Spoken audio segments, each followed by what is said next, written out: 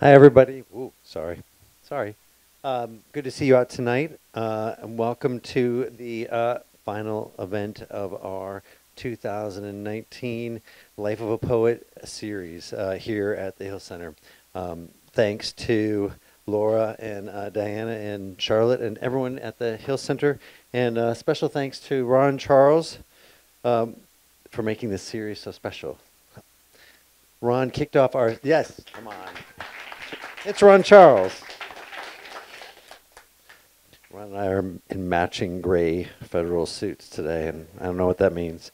Um, Ron kicked off our sixth season, which is this season, uh, last September with an amazing event featuring Carmen Giménez Smith, and we hope she wins it big tonight at the National Book Awards.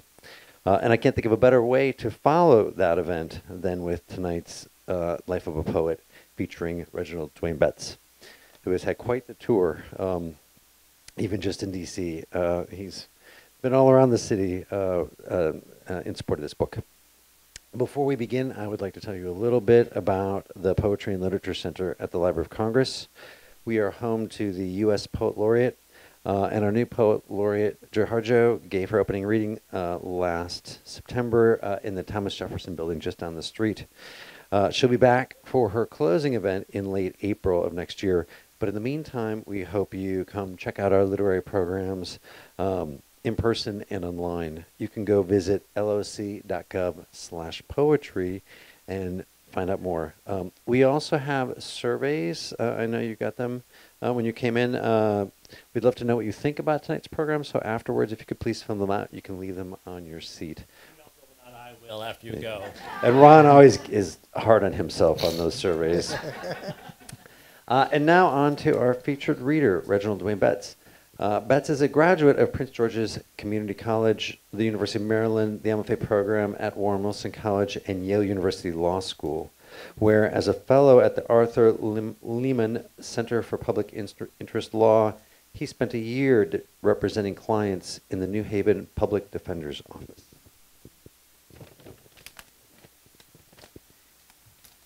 His three books of poetry are Shaheed Reads His Own Palm, winner of the 2010 Beatrice Hawley Award from Alice James Books, and a National Book Foundation, and they are the people that host the National Book Awards, National Book Foundation Literature for Justice selection in 2018-2019.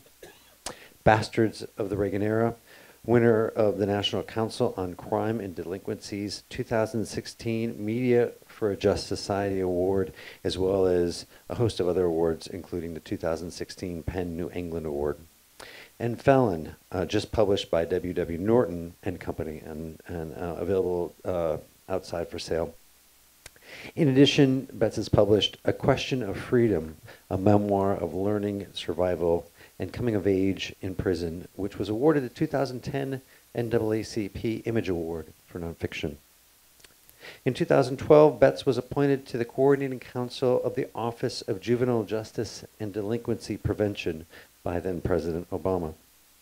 His many other honors included 2010 Soros Justice Fellowship, a 2011 Radcliffe Fellowship, and a 2012 Ruth Lilly and Dorothy Sargent Rosenberg Poetry Fellowship. In 2018, he was awarded both a National Endowment for the Arts and Guggenheim Fellowship and was also named a 2018 Emerson Fellow at New America. He is currently a PhD in law candidate at Yale University. Please join me in welcoming here to the stage.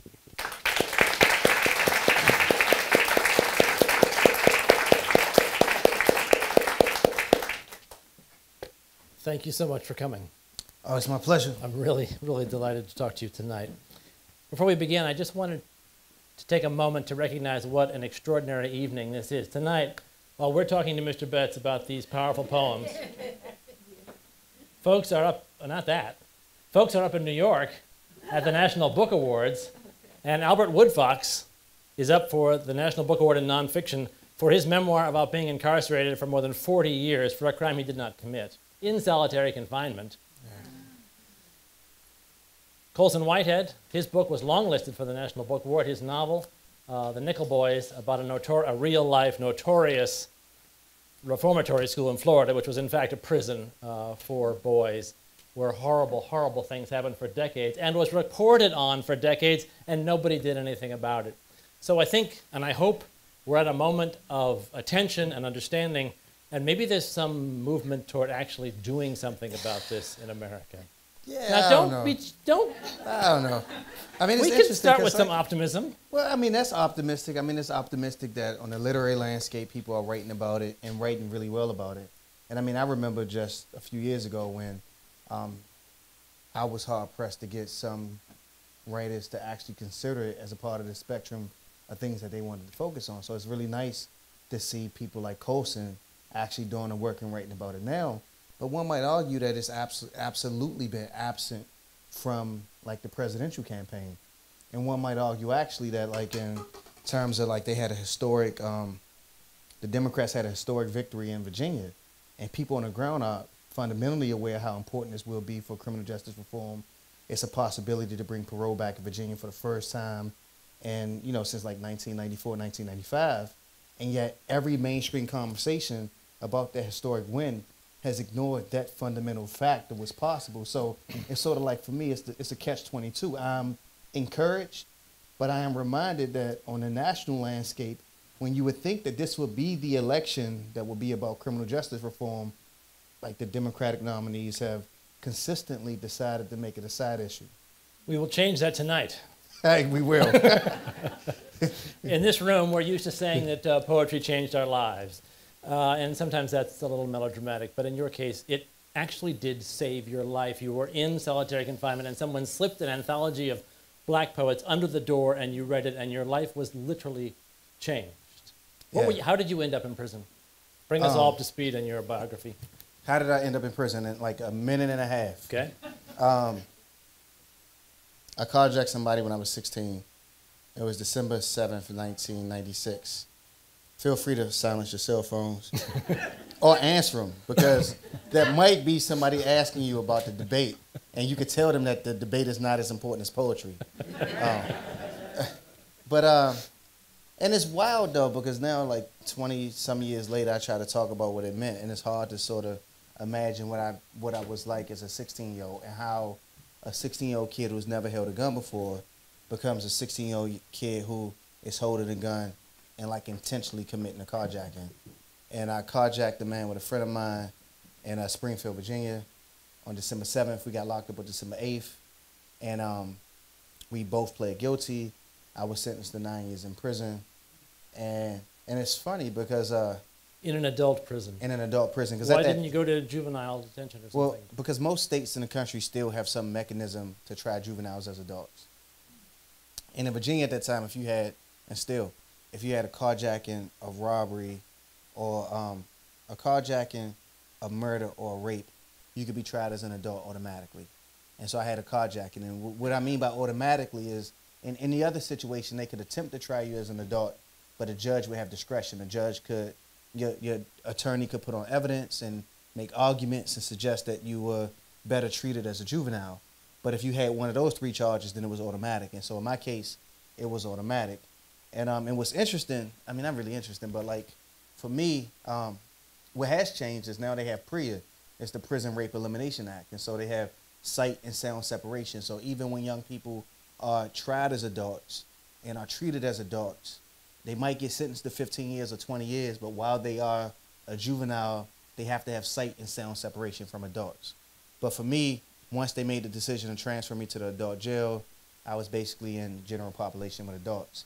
And um, and what makes no sense at all, and actually I think about this today, and I'm just reminded of how some type of like reckless belief can lead to your salvation, is that um, when I was sentenced to nine years in prison, I was I planned on being an engineer.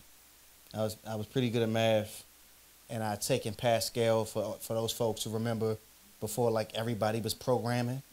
Like I'm taking Pascal, I'm taking C and I have no idea that I'm breaking in early on a on an industry that will change the world, right? But I'm getting in on the ground level, and then I go to prison, and I'm thinking enough of that dream. And I decided after I was sentenced to become a writer. And I decided to become a writer not really because I understood what it meant to be a writer, not really because I understood what it meant to publish a book, But because I understood that the technology available in prison was much different from what was available in my high school, and I had decided that with an ink pen and some paper, I could become a writer. And so from from the time I got sentenced, you know, I was like, I'm gonna be a writer. And then um, this is when I'm 16. And so for me at that time, being a writer really just means, you know, writing. I was I was really self-absorbed, and I, I was like not good at description, so I was only writing things that I thought about, and I was writing reviews of of of, um, of books that I read and things for school.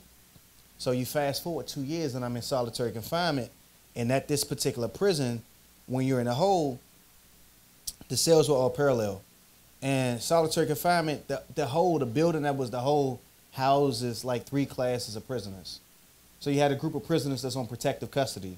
And that means that they're just afraid of being in general population for whatever reason. And then you have prisoners that's on administrative segregation. And that means that they spent some period on solitary confinement, but you can only keep a prisoner on solitary confinement for like between 15 and 30 days. And then you have to transition them to administrative segregation, which in all actuality is just like the, the conditions of somebody on protective custody, except you're not waiting for you to decide when you feel safe on the yard. You're waiting for the prison to decide when it's okay for you to go back on the yard. And then the third category is solitary confinement. And so I did the first 15, 30 days in solitary confinement, and then I did the next five months in administrative segregation. But the thing is, because it's those three groups that mix, it's really only people in solitary confinement who can't have books and so you were able to sort of develop an underground library amongst the folks who had administrative segregation and protective custody. And we would just give everybody books. But you wouldn't, like, you couldn't request a book. You could just say, yo, somebody send me a book to read. And people would send you anything. I read so many of those Reader's Digest novels. Oh, yeah. you know, I, Yeah. I've read like an abundance of them. And, uh, and so one day I asked for a book, and somebody sent me The Black Poets by Dudley Randall. And um, and I read a lot of amazing writers in there, including Lucille Clifton, Sonia Sanchez. But the writer that made me decide to be a poet was Etheridge Knight, because he had been locked up, and he had written about being incarcerated, and I felt like I was locked up, he had been locked up. If he was able to do it, then I could do it. And also, like the very first poem of his I read was like for Freckle Faced Gerald, and it was about a 16 year old kid getting raped in prison and I was like really self-centered at the time, and it depends on who you talk to. They might say I'm still self-centered, but um, that was a joke. Nobody laughed. They was like, they was like that was a stunning amount of self-awareness, but I wish you would change your life. Like, but uh, but no, like um, so I read this poem, and it was about, and, and I thought everything was about me and this sort of generation of dudes that I knew, my my sort of cadre of young guys who all got locked up as 14, 15 year olds. But Knight had been in prison in the 70s, and he wrote a poem about a 16 year old who had been in prison in the 70s, and it just made me really change my perspective. And it did two things. It made me understand that poetry could do more than just convey emotions or convey how a writer was feeling. It could actually convey a political landscape. Hmm. But also, it made me aware that poetry can make you aware of something about yourself that you didn't realize beforehand. And so, it's one line that says, um, 16 years old hadn't even 16 years hadn't even done a good job on my voice and it says something like um, i couldn't even talk tough or it says he couldn't even talk tough and he couldn't like win the favor of the young cats around him and it made me aware that i had all kinds of talents and skills that i, I should be thankful for because you know i was cool and, and people liked me and i didn't have the kind of struggles that the character in this in this poem had and so when I decided to be a poet, it was because I recognized that if a poem can help me teach myself something about who I was in the world, maybe I could write 10 lines, 15 lines, 20 lines that you could consume in a minute's time and it would, it would stay with you. And that's very different from like no 16 year old kid. I mean, now some 16 year old kids, but like really 16 year old kid imagining writing a novel. They, they got to be insane. And Yeah. it was much easier for me to say I could write a poem. And so I became a poet. I've never asked someone in this series about the cover of one of their books, but this cover is so striking and then becomes thematic, and you mention it in the book that I Yeah. feel like I can ask you. Yeah, yeah. Tell us about this image. So um, a good friend of mine named Titus Kaphar is a visual artist, and um, he lives in New Haven. I live in New Haven, and um, we did a project together called The Redaction, and it's a series of prints. And so some of the poems in the book actually are the basis of some of the prints. But the actual prints have etchings done by Titus on them as well. And the poems are silk, screened on paper in two different colors. But I was looking for, um, I have a problem with publishers. And with my last book, I was like, you know, I was so mad at the world and at the publishing industry and at the poetry world. I was like, I don't want a cover. I don't want any artwork. I don't want my name on the book. You know, we just gonna release it. And they were like, well, that's not gonna happen. and they were like, you know, we're gonna have a title. And I was like, all right, well, we got a title. And they were like, and we also gonna have your name. But we'll let you go with no artwork. And so Bastards of Reagan era had no artwork. And part of the reason was because I thought that there was no art that that, that could capture the, the moment that I wanted to, to bring out in the book.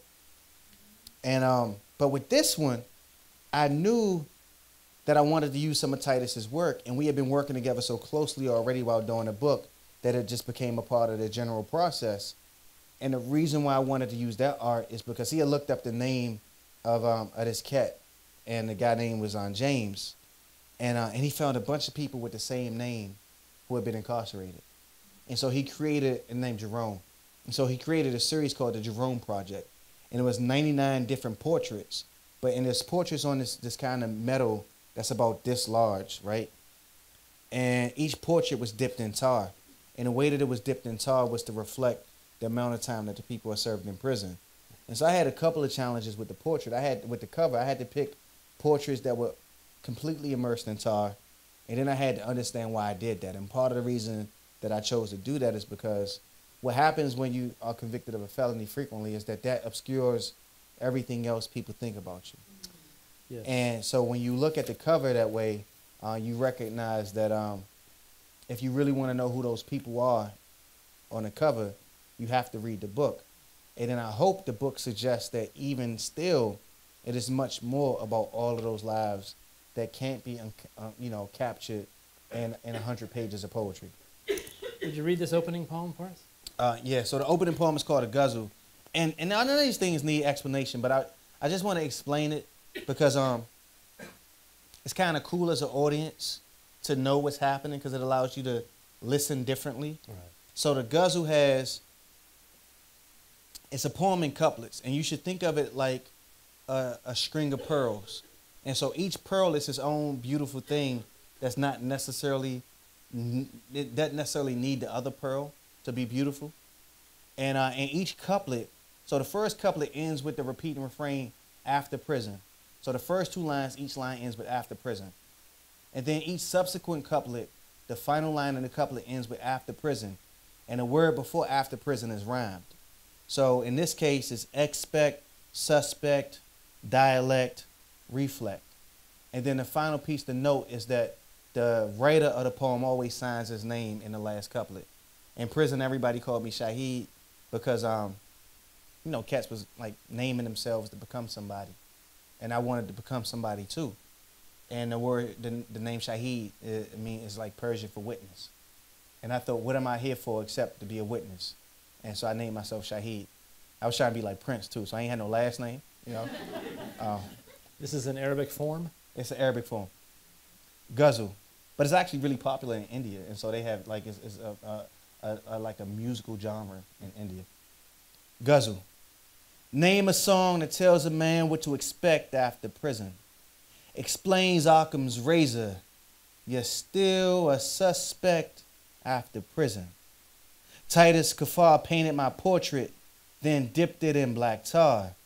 He knows redaction is a dialect after prison. From inside a cell, the night sky isn't the measure. That's why it's prison's vastness your eyes reflect after prison. My lover don't believe in my sadness. She says whiskey, not time, is what left me wrecked after prison. Ruth, paper maker, take these tattered gray sweats, make paper of my bed. A pass I won't reject after prison. The state murdered Kalief with a single high bail, always innocent, Did he fears time's effect after prison. Dear warden, My time been served. Let me go. Promise that some of this I won't recollect after prison. My mother has died, my father, a brother, and two cousins. There is no God, no reason to genuflect after prison. Jeremy and Forrest rejected the template, said for it to be funky, the font must redact after prison. He came home saying righteous coochie and jive turkey. All them lost years his slang's architect after prison. The printer silk screens a world on the black paper. With ink, Eric reveals what we neglect after prison. My homeboy says he's done with all that prison shit. His wife and baby girl gave him love to protect after prison. Them fools, they say you can become anything when it's over. Told him straight up, ain't nothing to resurrect after prison. You have come so far, beloved, and for what? Another song? Then sing, Shaheed, you loved, not shipwrecked after prison. Thank you. Thank you. I want to talk about this tension between forgetting and acknowledging, which runs throughout all your poems. This concept of redaction being a special dialogue of, of speaking about prison life is so, so troubling and poignant. Uh, you've got a poem called Essay on Reentry. We have several poems, yeah, which is a, a maddening thing for a scholar, you know, if you keep naming your poems the same title. Uh, but uh, if you read that poem, Uh, which, so I'm reading uh, essay Essay on Reentry. For Nicholas Dawidoff. Of prison, no one tells you the time will steal your memories until there's nothing left but script searches and a hole and fights and hidden shanks and spades games. You come home and become a parade of confessions that leave you drowning. Lost recounting the disappeared years. You say, fuck this world with background checks like fingerprints announce the crime. With so much of who you are betrays guilt older than you. Your pops, uncles, a brother, two cousins, and enough childhood friends for a game of throwback. All learned absurdity from shackles. But we wear the mask that grins and lies. Why pretend these words don't seize our breath? Prisoner, inmate, felon, convict, nothing can be denied. Not the gun that delivered you to that place where you witnessed the images that won't let you go. Catfish learning to subtract his eyes a heron slurred mess. Blue black doing backflips in state boots. The DC kid that killed his cellmate. Jesus. Barely older than you, he had one of the shirts made by other men in prison. Boxers, socks that slouched, shackles gripping his shins. Damn near naked. Life waiting. Outside your cell, you could see them wheel the dead man down the way. The pistol you pressed against a stranger's temple gave you that early morning. And now, boxes checked have become your North Star. Philip, catalyst to despair, death by prison stretch. Tell me, what name for this thing that haunts, this thing we become? Thank you. Thank you. Several of these poems are about the work of overcoming, or at least confronting, this desire to redact, to block out, to bury, to hide, to forget. At the same time, you're memorializing these experiences. You're forcing yourself to confess over and over again throughout these poems. You come home and become a parade of confessions that leave you drowning, lost, recounting the disappeared years. Nothing can be denied. And you just hear the, the pain in those, in those lines. Last year, you published an essay in the New York Times Magazine called Could a con- an Ex Convict Become an Attorney?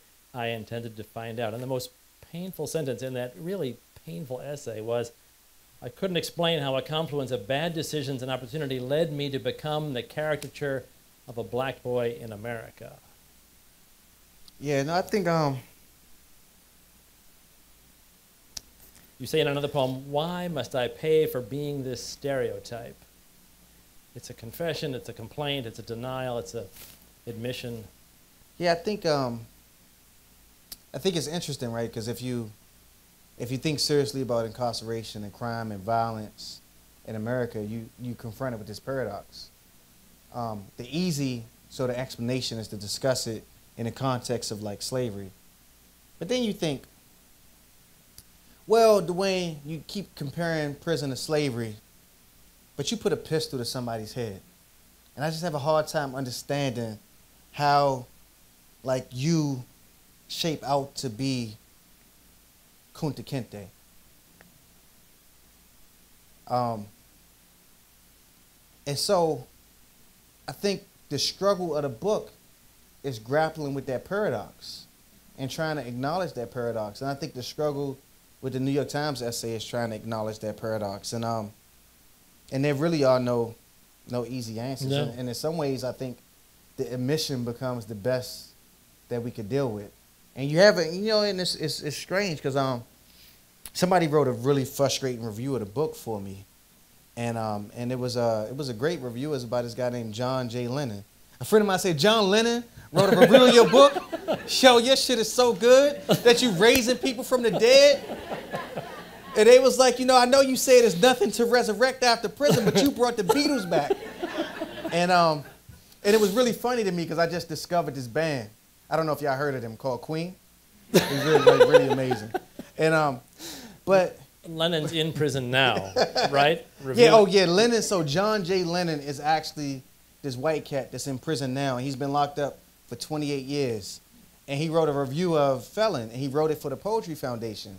But what was most troubling about his review for me was he said that my book frustrated him and that it made him think that there was no escape in incarceration. Right. And I do think that he found your book depressing, in other words. right. He's in prison, and your book made him depressed. that shit made me so sad, you know. And um, but what I might have told him that every book suggests a book yet to be written.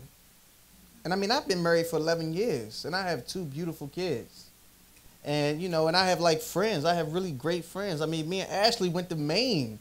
You know, we went on a road trip to Maine for me to read poetry in front of folks. And like my uncle's here, my nephew, my um, my cousin's here. So like, you know, every book suggests a book that's yet to be written, and that's what I would say to him if I talked to him. But if he says, "Why is this book circling a wagon?" It's because the wagon is there. And and I think that sometimes, you know, in my own life, I've recognized that the best way for me to deal with it is acknowledging that the wagon is there. Right. And, and and yes, the poems constantly acknowledge that. But I love spades, and so when I say that, you know, um, it's these things that haunt. Like the spades games is also part of the things that haunt. You know, it's all and, and the haunt is not necessarily a bad thing. And so the spades games is slipped into there subtly, right? But it's in there. And I also think part of part of the power of the book, if there's anything that's powerful in it, is eh, for me is that I could tell the story, you know. And I try to self-correct, but the truth is, certain things that you do to other people, maybe you shouldn't be able to like run away from. And that's part of what I try to acknowledge too. Would you read uh, Parking Lot 2? Oh shit. All the way to the end. Listen to this poem. Oh man. Is this being recorded? It is. It's live, and it will be up online afterwards on Facebook. That was so rhetorical.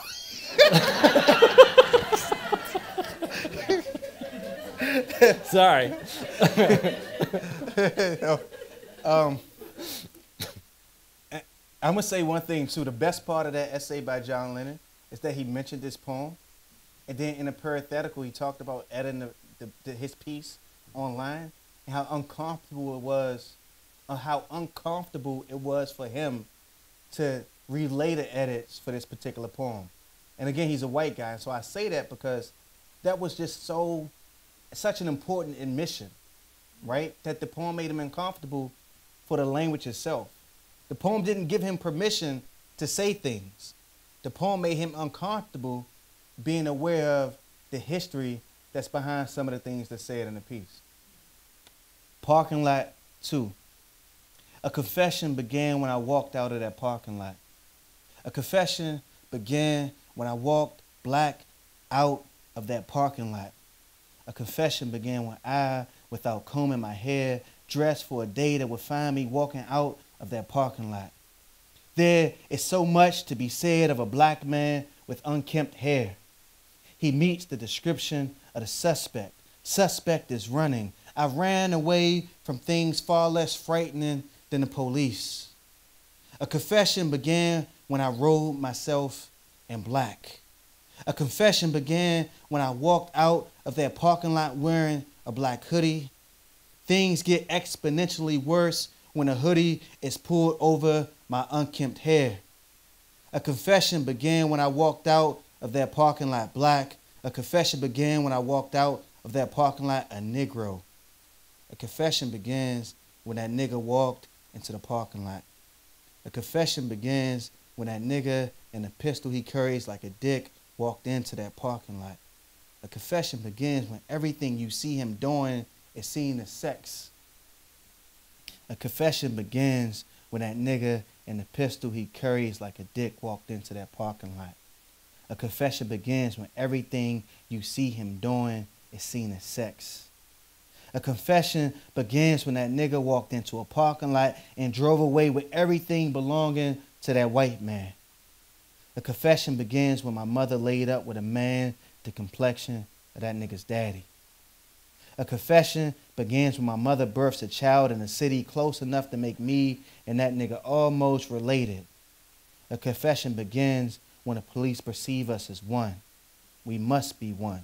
He could not have walked in and driven out, and I walked in and walked out on the same night. And whatever gaps in the story and slight differences in the features of our faces was just more evidence that niggers will lie. A confession begins even if I didn't have the fucking car. A confession begins. My confession began with a woman stitching stars and stripes into a flag. That is a really tough poem. Yeah. That is so the first time I read that in public. And I think it's a good poem, I should say. But it's like every time when I'm flipping through the book, I be telling people, I'm like, yo, this book is so good, I can read anything in it. And I'll land on that poem and be like, It's a very uncomfortable poem in the way that it interrogates American racism throughout and confesses to the personal crime committed, actually committed, not just accused, right. but puts it in the context. It doesn't avoid responsibility, but it expands responsibility all the way to that last incredibly powerful line about Betsy Ross there sewing those flags in, uh, sewing the stars in. Uh, why does it make you so uncomfortable to perform? Cause I'm not trying to give white people the permission to be saying the word nigger just like willy nilly. Like, yo, he said it, I could say it, and I should just say that that was not my intention at all. And some of y'all are like, damn, fuck. I don't know how to respond to him saying that. but like, it is so funny to me, It is probably shouldn't be funny. But I had people say to me, like, you know, because I say the word nigga all the time, and I try to say it only in certain company, but sometimes you slip, and sometimes I just be like, fuck it, and I call white folks nigga too just to just just fuck up the dynamics of it. Because because if you say, wait, I'm not a nigga, then it's like, wait, am I? You know? so it, I just say it, right? But then I fucked around and had somebody say it to me. And, and, and I was like, and they weren't saying it to me as me, they were saying it to me about my work. And it felt like they cut my head off with a like a rusty machete. And so like I have un- I'm uncomfortable. But even if you read the poem in the book, you notice that at the end the word it goes from Negro to nigger to nigger, and I'm trying to rhetorically emphasize some moment in history Right. with all of those That's- changes. yes. But the thing that's uncomfortable about it is like we all approach history in a very, very different way. And like none of us necessarily want to be wrong in certain ways. And also we all want to have permission to say every word that exists in a dictionary or in the world. But we just we just don't, right? And so what makes me uncomfortable like reading it is that part of me recognizes that like maybe I should resist to need to like troll you You know, maybe I should resist the need to say some shit that while I say it, I am reminding you that you can't say it. Maybe that is not being a good citizen. Or maybe that's being the best citizen. Like I literally don't know what it means to, to be in that moment. And I do feel like what I really liked about his piece is that he captured all of that in a parenthetical. He just said, he just said, giving edits to this part of the essay made me really uncomfortable. Close parentheses. And he didn't dwell on it. He said, I'm in prison. I'm, I'm, I'm giving edits over a phone. I want to talk about this poem. If you didn't want me to talk about it, you shouldn't have said it. Maybe in another world, I could type my edits and I could email it and I wouldn't have to say it. Hmm. But I am actually in the one place on the fucking planet where for me to acknowledge this thing that you've done, I have to say this shit out loud. And it bothers me, right? And to me, that was such a powerful piece in the essay because it is acknowledging my own like lack of comfort in reading the actual poem. Because maybe I just don't feel good putting people in that situation, you know?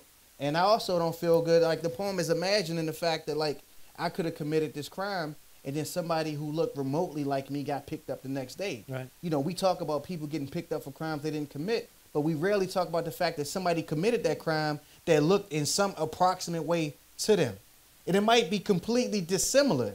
It might be that the person that committed the crime was light skinned and five foot two and not dark skinned and six foot eight. But the point is, somebody had a gun put in their face, and the, and the history of American racism means that like if if the question is am I my brother's keeper, then the question becomes am I responsible for the way my brother suffers for the crimes that I commit? And that's also part of the sort of subtext of the poem. Right. You may have to black most of that out when we Oh, we gotta you gotta block that out? just kidding. just, kidding. just kidding, Rob. Uh, Rob's uh, this will be up on the Library of Congress website forever. The uncensored version. Yeah, the uncensored version. The director's cut, as they say. yeah. No, no. Uh, the poem, another poem called Confession. It's in your first book.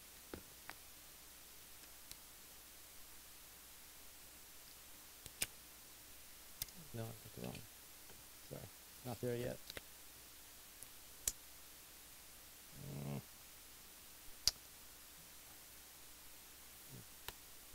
read that poem for us. Confession. Whoa, was that me? Yeah. Confession. If I told her how often I thought of prison, she would walk out of the door that's led just as much to madness as any home we desired. She will walk out and never return. My employers will call me a liar and fire me. My dreams are not all nightmares, but this history has turned my mind's landscape into a gadroon. I do not sing. Have lied for so many months now that truth harbinger is lost. Sleeping beside her when the memory is holding me tight, as she did before the lies turned everything into a battle. I once gasped and lurched and tried to strangle the pillow she placed beneath my head imagining me explaining that to her while still shivering like a panicked and broken man. I stopped believing in God long before then. But that night, when outside there was no light but darkness, I swore something of what inevitable is touched me. My children slept with their light on. I walked to that still lit room. My son was asleep, and his brother draped over his body as if he were a pillow. The way he loved his brother was everything my time in the cell denied me. If I told my woman that, she would want to know if I thought I deserved all that lost. Her mother wonders why I won't let it go and hold on to the happiness in the life we have. But how do I explain that outside on nights like this, it's where I first learned just how violent I might be. That I think of prison. Because in all these years, I still can't pronounce the name of my victim. That's a different kind of confession, isn't it? How do you confess what's haunting you to the people you love without frightening them? Yeah, I don't know. I mean, um, I guess you write a poem, but that's not about me, so I don't know. I mean, maybe you write a poem. I mean, maybe you, I mean, what if the people? I'm, my people don't read poems. You read that poem? My uncle ain't read that poem yet. Like, and, and um, and that's not even. I, I think what happens though is I think it's always.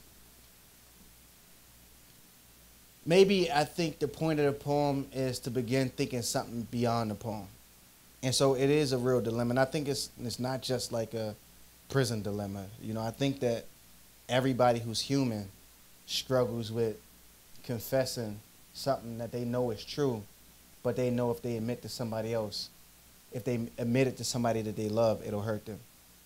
And in fact, writing a poem and announcing that thing is is a way to make the idea like tangible and real. And I think um, it's acknowledging that um, it's supposed to be a landscape of suffering.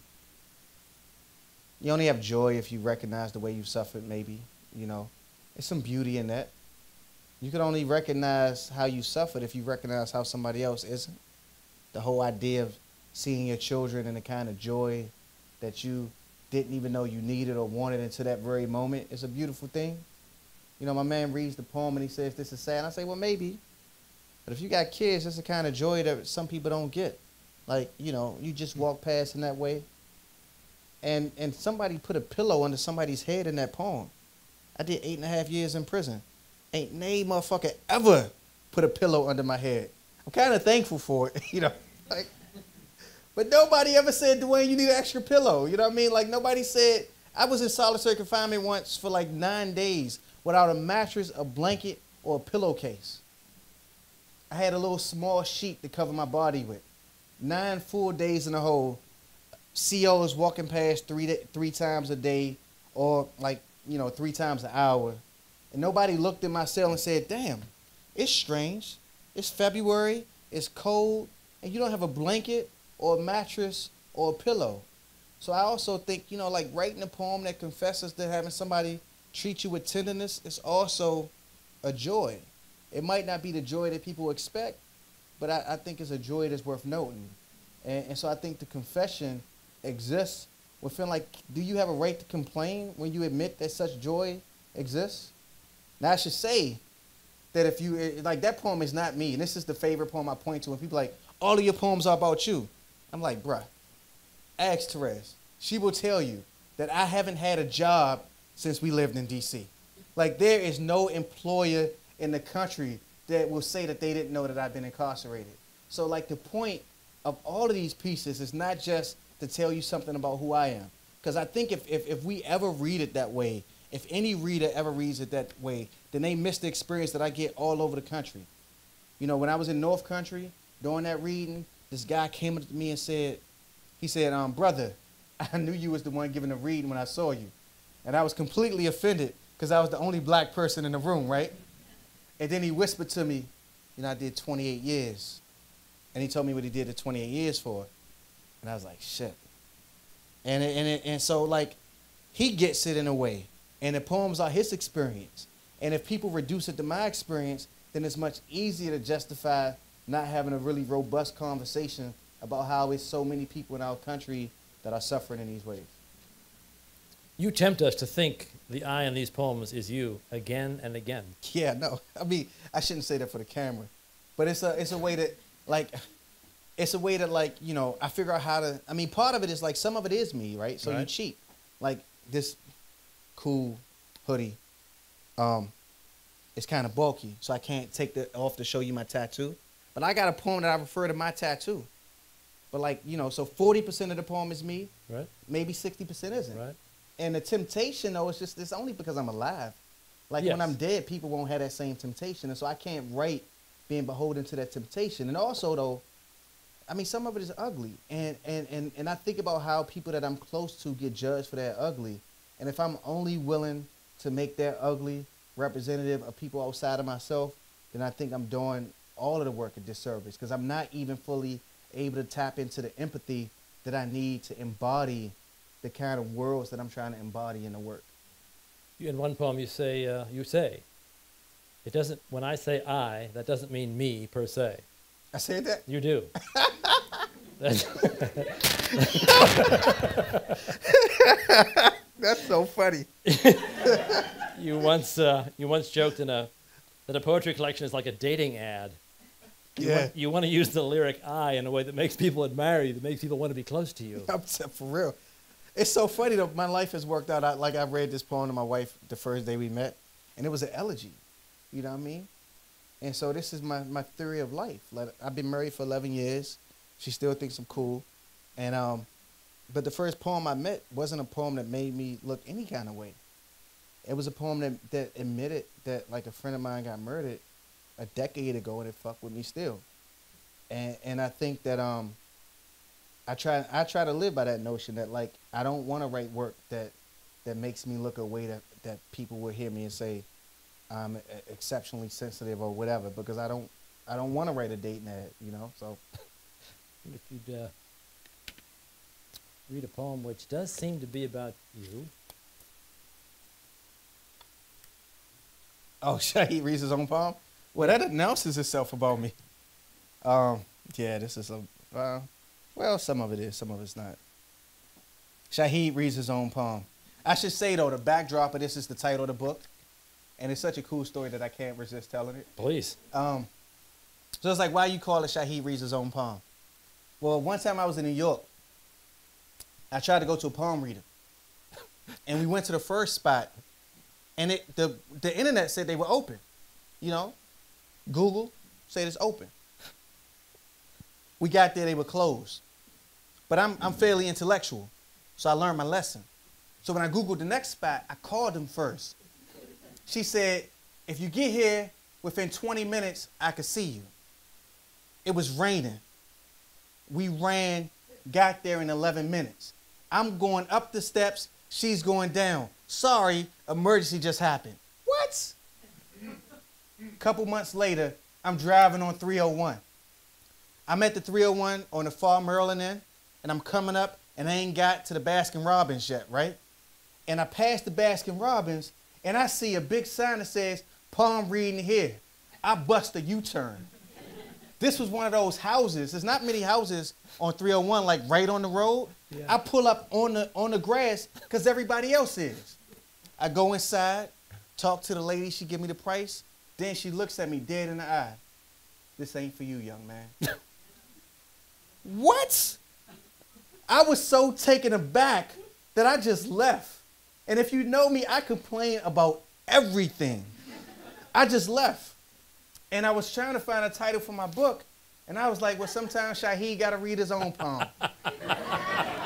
so, um, Shaheed Reads His Own Palm. I come from the cracked hands of men who use the smoldering and the blunts to blow shotguns. Men who arrange their lives around the mystery of the moon breaking a street corner in half. I come from Swann Road written in a child's slanted block letters across a playground fence. The orange globe with black stripes in Bishop's left hand, untethered and rolling to the sideline. A crowd open mouth, waiting to see the end of the sweetest crossover in a Virginia state pen. I come from Friday night's humid and musty air, junkyard band cranking in a stolen Bonneville. A tilted bottle, a tilted bottle of wild Irish rose against my lips, and King Headley's secret written in the lines of my palm. I come from beneath a cloud of white smoke, a lit pipe, and the way glass heats rocks into a piece of heaven. From the weight of nothing in my palm, a bullet in an unfired snub-nosed revolver, and every day the small muscles in my finger threaten to pull a trigger, slight and curved like my woman's eyelashes. Thank you. We're always tempted with lyric poetry to imagine the I as the author. That's a very common readerly Yeah. mistake or temptation. Uh, the critical commentary about your work often, always, leads with your biography. It dominates discussion of your work. Nobody begins discussions of Carl Phillips or uh, or other poems with other poets with their biography. Do you think that's? It reminded me of a way in your poems about how when you were applying for a job, the incarceration was always got it always got in the way. It always was interrupting your efforts to move on with your life. Is it irritating to have your biography always front and center in the critical response to your poems? Sometimes I just wanted to say, you know, the poem on the page is really good. Can we just talk about the poem on the page? Yeah, well, you know, that's a really interesting question because um, because even if we don't court it in terms of the way that people write about our books, which we have no control over, Right. we always court it in the terms of the way we present the work that we write. Like I've never seen a poet not present the work that they write in the context of the life that they live, even when the work that they write is only tangentially related to the life that they live. So you can't not know that Carl Phillips is a gay black man. You, you can't. And I would argue that the work announces itself as such. And maybe you could imagine that it's this straight black dude that's writing this really cool, like gay black man shit. It's like, damn, how does he understand this world so much? But it's kind of unlikely, you know? And and so I, I wonder, like, to the degree that that's true, for me, it's true because prison is it's like getting hit in the face. You know, you become an anomaly because you almost become a rarity. You know, and, and like it's not that many of us who come out of prison and they write, but also if you decide as a writer, uh, Mitchell Jackson just wrote a piece for your for, for the Post, right? And I was kicking it with him about it, and it's a it's a it's a short story, but I bet five to one that most people read it think it's about Mitch, because it's a short story about a guy that's coming home from prison. But you could take Edward P. Jones, who is also from D.C., who wrote a short story about some guys coming home from prison that happens to not be in the first person, and nobody would assume that Ed P. Jones is writing about somebody who came out of prison. But the thing is, as a writer, your obsessions dominate you. And so if the question is, should I be obsessed with something else? Because then that would give room to think solely about what's on the page. It's like, I can't be obsessed with something else, though. That's just what it is. And, do I often wish that it was another way? I guess maybe it, maybe I do, but it goes back to the earlier answer. You circle the wagon that you circled. Right. And and I would love maybe to circle some other wagon, but when I come to the page, I, I find that I'm drawn to write about the things that I write about. And um and it only matters until I die. You know? Like while I'm living, if, if the if the discussion of my work forces you to actually answer complicated questions about the role that the eye plays in poetry, then so be it. But if I got a poem about domestic violence, if you go to any domestic violence courtroom in the country, that is the most democratic place in America. I once saw a postal worker in domestic violence court with his postal clothes on. And he was 54. And I thought to myself, why are you beating up somebody you love? The same day a 15 year old kid was in there, a 33 year old woman was in there, a mother of four kids was in there trying to get the man who knocked her slammed the fuck out released from prison. So if I write a poem that's about domestic violence, if you need to obsess over whether or not I put my hands on my wife, you're missing a complete point. Mhm. And and if I have to be afraid of writing that poem because I think that you're gonna judge my marriage, then I'm missing the point. And so I think at the end of the day, that's where I land on. But I could only land on that because like I'm really a halfway decent person. you know what I mean? Like like I'm good. Like I'm just not even really concerned that like people who really know me will be like, you know, I thought they had a good marriage, but man, is he like, like he seems like a bad dude, you know, like, and and and I didn't even know his mom is dead. I, uh, that's just not even funny.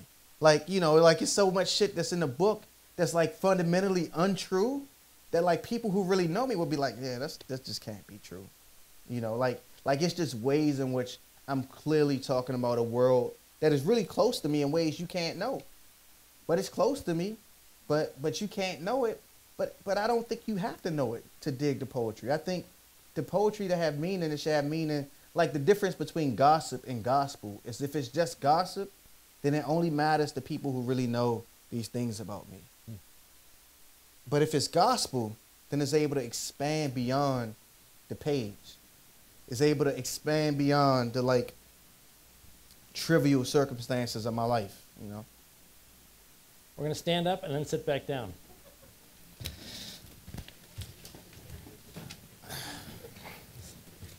You must stand up. now we'll sit back down. I'm going to go a little bit longer. If you must leave, feel free. We're going to stick with this.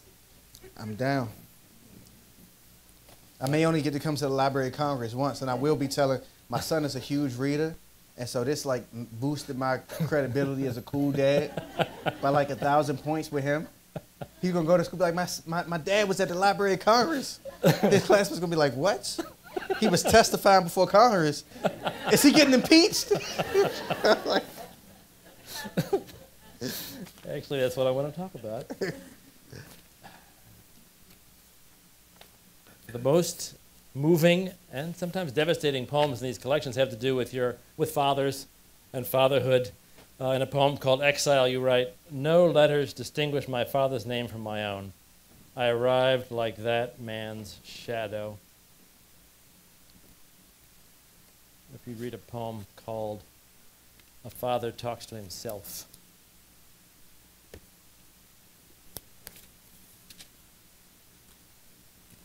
A father talks to himself. A fist tonight slams upside my head, brushes wind, which brushes yesterday's potash off my shirt. I dug dirt for hours and planted St. Augustine grass on land still begging water's touch. I say, fuck this starved ground, this rain, the crimes that lend my face to Junior's wild, wild life. I know some things. It's April now, with the sun cutting shadows and the dead men on grass and gravel. When my arm transforms this shovel into a shank that jabs at earth, my fist holding the spade's thin neck, I know the size of the cell Junior calls home and how it talks to him at night, each night. It was built with bricks the same as Lorton's hell, that hard mud that draws out hurt from bones and pours what's left into a fist. I called my sister asking where my son had gone. A man is crushed when he doesn't know steps that will lead back to the years and life he left behind for a fight with the street and night's hunger. His mom don't call my name for nothing since she left it sound in my mad machete rage. She left my voice in a cage and I don't blame that woman for love. I never was enough saint to leave sin with the devil, leave my lies unsaid. I lived flush with the anger that ran my son to jail. Never did teach him much about the land, how this rain is good for any grass. Now I swallow regrets.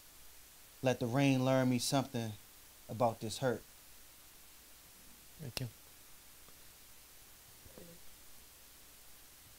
What can you tell us about your father and his influence on you? I don't know. I didn't invite him to the reading tonight. Maybe I could tell him that. That's not. That's probably not cool either. I didn't invite my grandfather either.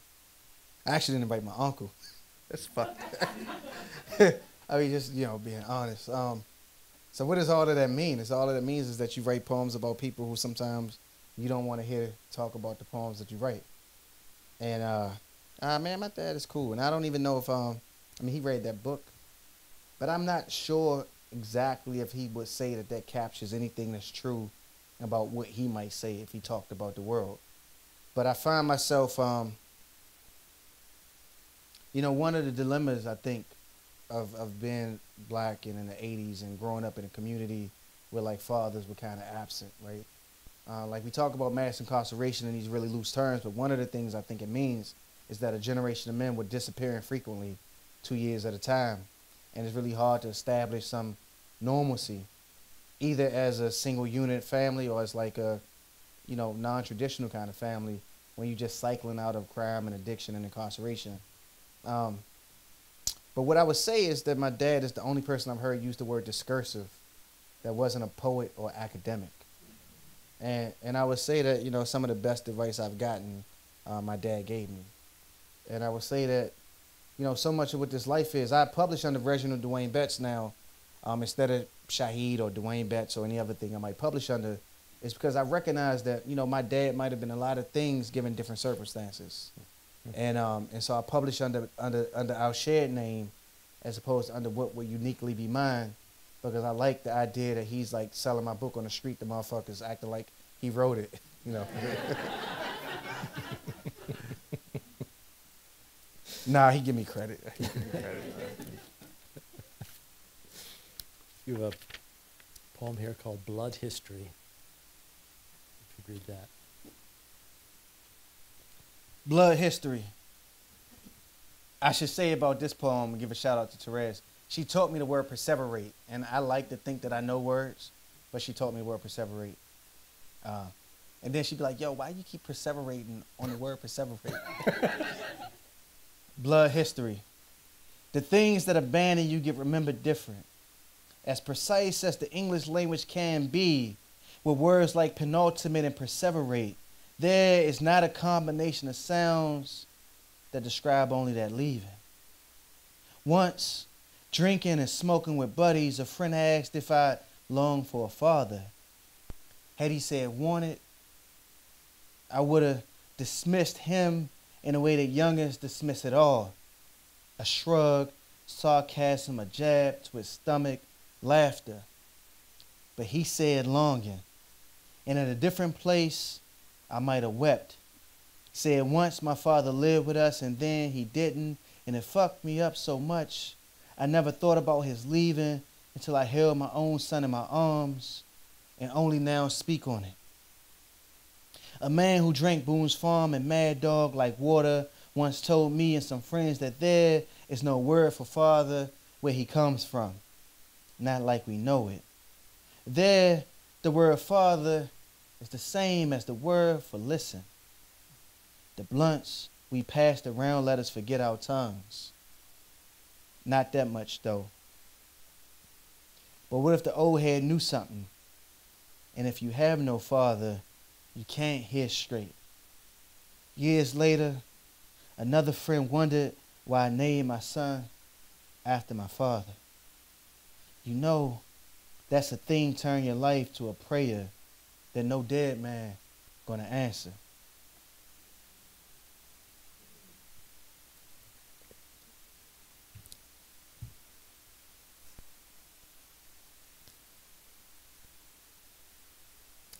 And now you're a father yourself, Of two.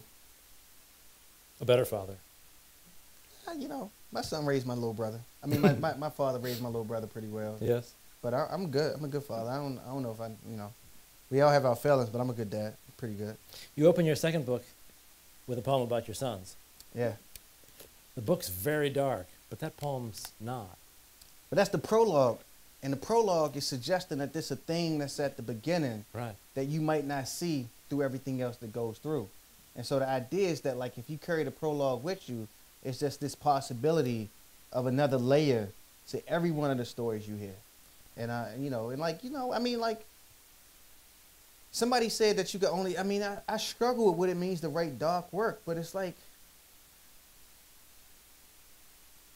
just because you acknowledge the darkness in the world doesn't mean that you become brutal it doesn't mean that you become dark or spiteful or vengeful. You know, it's like, I mean, I wrote about people that I love in that book and Yes. people who often aren't in my family. And I wrote about situations and things that I wish I could do more about. And Yes. so I'm struck by this notion that if you write something that's dark, it means that you imagine that the world must be dark. And it is what troubled me about John's review Right. because like the thing is you know you got a story to tell and the story to tell isn't always the most happiest story No. but that doesn't mean it doesn't need to be told and, and, like, and like unless i plan on not writing any more work i you know ask me when i'm 90 it's like it's like look look um ruth bader ginsburg has hired one black law clerk in like 50 years i still got hope for her you know so if I still got hope for her to hire some black law clerk, people can have hope for me. It's like I'm only 39. You know, I'm gonna get to the joyous poems soon as my kid gets through puberty. You know. There is a suggestion in that poem that the family is an oasis, a protection, a place of joy in a world that can be very dangerous. Yeah, and in a world that could be like um unforgiving. You know, you apply for a job, you say you have a felony conviction. I mean, I applied, I applied to you know Harvard Law School, had a full tuition academic scholarship, and they found out I had a criminal record and I didn't get that scholarship. Well, I didn't call my mom and cry. In fact, I ain't tell nobody, but my wife.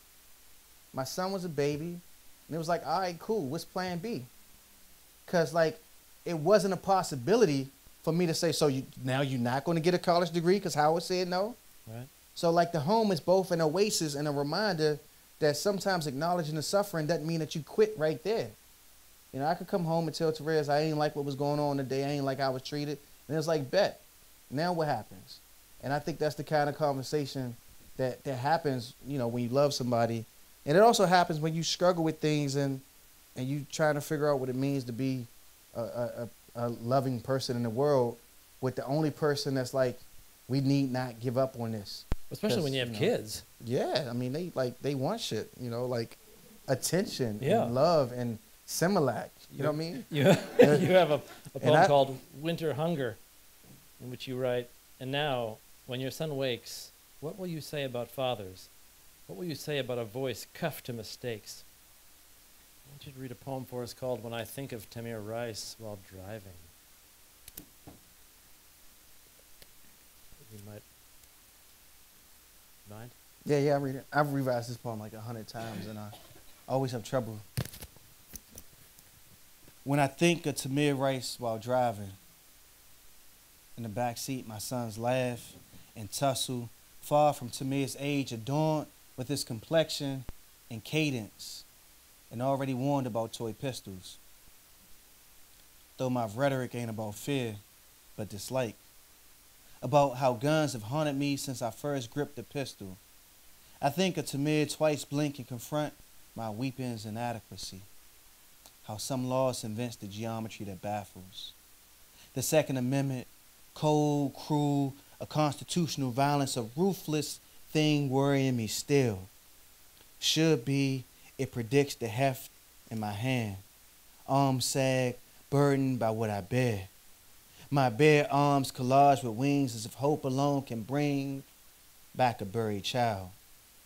A child, a toy gun, a blue shield's rapid, rapid, rapid shit. This is how misery sounds. My boys playing in the back seat, juxtaposed against a 12 year old's murder playing in my head. My tongue cleaves to the roof of my mouth. My right hand has forgotten. This is the brick and mortar of America that murdered Tamir and may stalk the laughter in my back seat. I am a father driving his black sons to school, and the death of a black boy rides shotgun, and this could be a funeral procession. The death, a silent thing in the air, unmentioned. Because mentioning death invites taboo. If you touch my son, the blood washed away from the concrete must at some point belong to you. And not just to you. To the artifice of justice that is draped like a blue guard around your shoulders.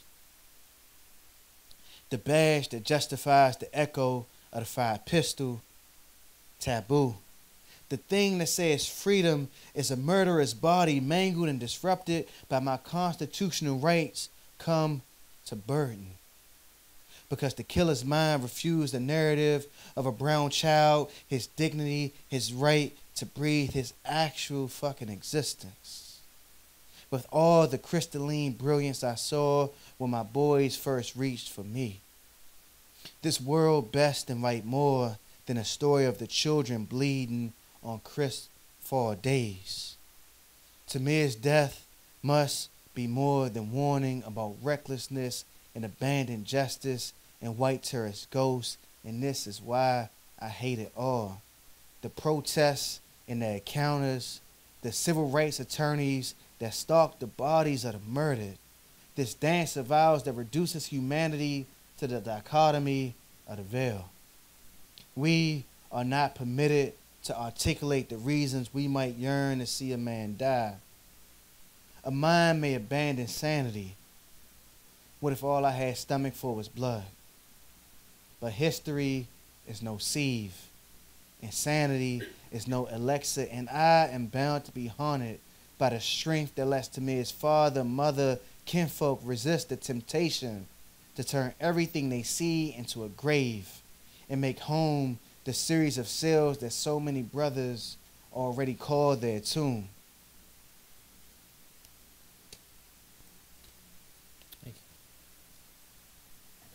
how to speak to your sons about the fact of violence in the world and our culpability about what happens when men have power in the dark.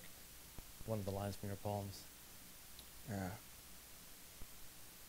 I I don't know. I mean, you know, like, and that's the thing about the book is it's this doubling. You know, it's like people expect they like you know they expect to pick up a book called Felon and read this like just complete indictment of the system, and and you know like the poem Night. That's a poem about domestic violence. Yeah. I read that poem all over the country, right? And I was at this spot earlier today. It was a, it was a um a high school for, you know, adult learners, and it was everybody from like 14, might have got kicked out of school to like 70 years old. And I read this domestic violence poem, and and like these aren't like poetry people, you know what I mean? These like, few of them poets, but these just like you know, I'm just trying to get my high school diploma, you know, something happened in school, I ain't finished, whatever and like I'm reading the poem, and it is the most visceral response I ever had to that poem. It's oohs, it's ahs, it's mmm. They hear it, they get it, and what happens is that the, the, I'm reading this poem, and they hearing it, and they not thinking about me. They thinking about the woman that's being abused in the poem, Right. and they got a kind of memory about what the poem is talking about that has hit them different than anybody that I ever hit, read that poem to, and um and, and, so that poem about like how do I tell my sons about this came out of law school and somebody was doing a, a book called The Feminist Utopia. And I wanted to just write about sexual violence and I wanted to write about like what it meant to live in a world where a woman is raped like every three minutes. And um and, and the poem is, you know, returning to some of these themes about violence and trying to complicate it in a way that acknowledges that this is just not a problem that the state has to own. This is a problem that belongs to us, and it belongs to me. And um, and there's a problem that you know the book doesn't leave you with answers. No. I don't even let my sons read my damn book. You know, it's like it's like they not even. I don't know. I don't even know when I'm gonna be like, yo, Makai. I mean, I don't let Makai read it. Then I walk into his bedroom and the shit is on the floor. So I'm like, hmm. fuck it. I'm not gonna take it from him. Right. But what it means is he just read something that he knows that we're not going to talk about for five years Right. because we don't yet had a language to manufacture what it means to say like you live in a society in which yeah, I remember hearing my my neighbor my, my neighbor above me um mom getting beat up by a boyfriend. I remember like being like 11 seeing a dude like beat the brakes off of this woman, hit her with a bat and the police come and the whole scene barely interrupt our football game. And and it was nobody to talk to about that shit. Right. And so the idea of poetry, I think, is for me to even like invite a conversation that's like um troubling and complicated, and to Yes. invite it because if there is some after, then the after must be where we figure out how to deal with that stuff. In If Absence Was the Sound of Silence, you write, I tell my sons about what their hands might do in long conversations about what the hands of men do. That's a very difficult conversation.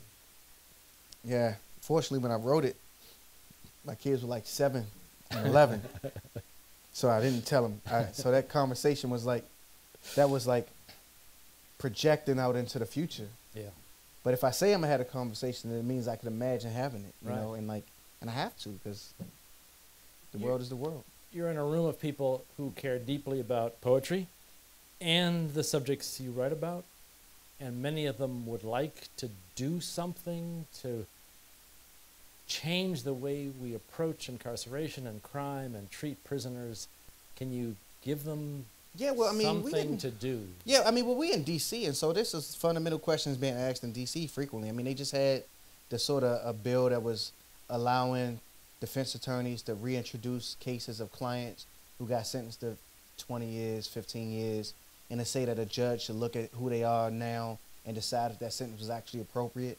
And you had a huge uproar in, in your paper, actually, you know, published was doing great reporting on it and some not so great reporting on it, making arguments about, um, well, I wouldn't say not so great reporting in the sense that you were just reporting what other people said, but some other people were making arguments that the sec the look back law was was inappropriate because it wasn't serving victims well. And the thing was, well, wait, we all live in the same community, and it was just an opportunity to say, well, you've been in prison ten years. What have you done? Because maybe you have done things while incarcerated to make you an asset to the community, and you shouldn't be there. And if you read the post, then you see that story, and you see what's happening, and then you can write the local legislators. And I think that, like, you know, I mean, DC's not a state, unfortunately. Some of y'all live in Maryland because of that. So, like, you have other powers to write Congress folks and say, like, these are the kind of things that should matter. I mean, mass incarceration is not a subject of conversation in DC right now.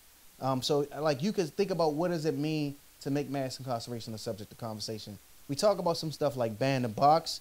Um, you could ask if you Wait, work you need for. to explain that phrase. Oh, so ban the box means that when somebody comes in for a job, you can't ask the person about whether or not they've been convicted of a felony.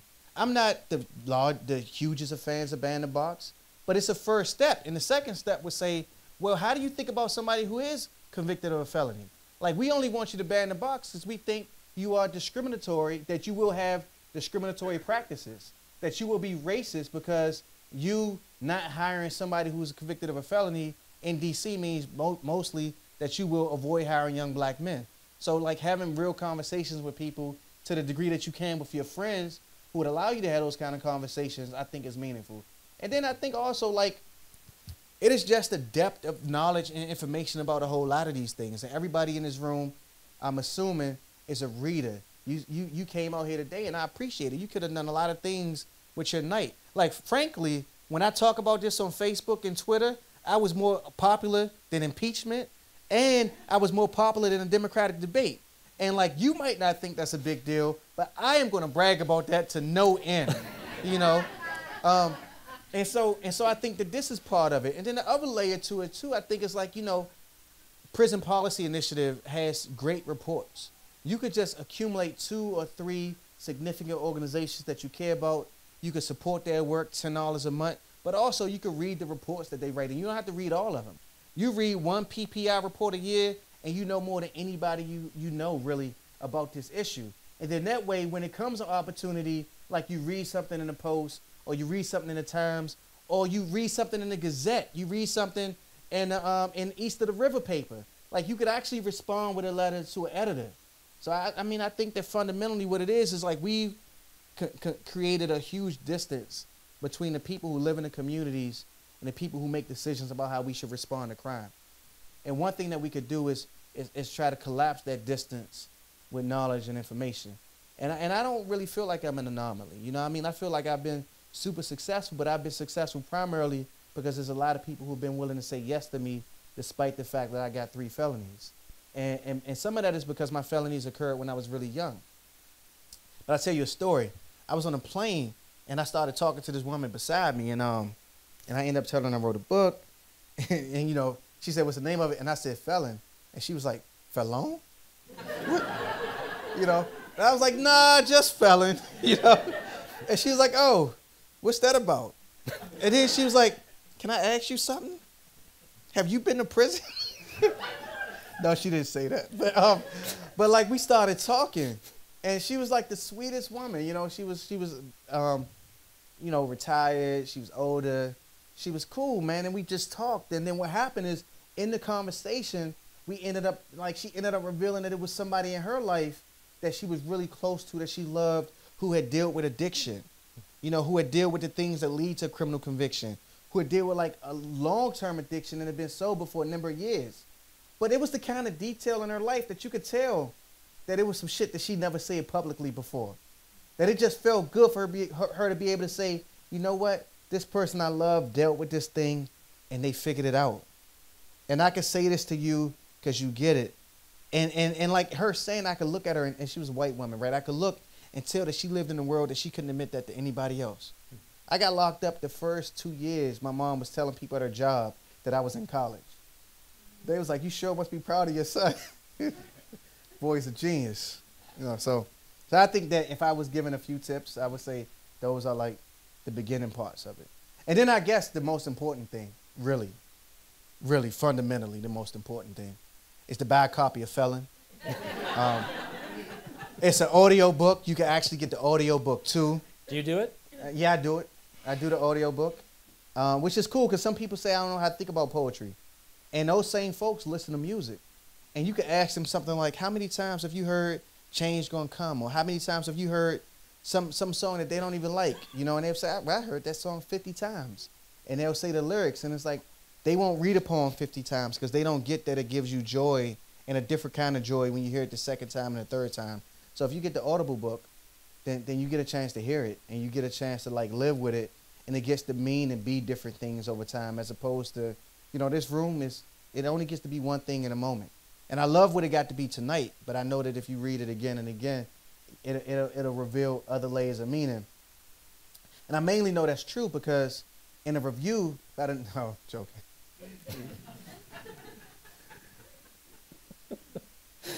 I want to end by having you read five lines from a poem called What We Know of Horses. It makes a beautiful conclusion to this night. I want I want to stop and embrace my brother, to hold him close and pause to inhale the scent of prison, to tell him what I smell, what I inhale is still the body of a man. It's been a great night. Thank you very Thank much. you. Great to talk to you. Much Really, obliged. Appreciate it.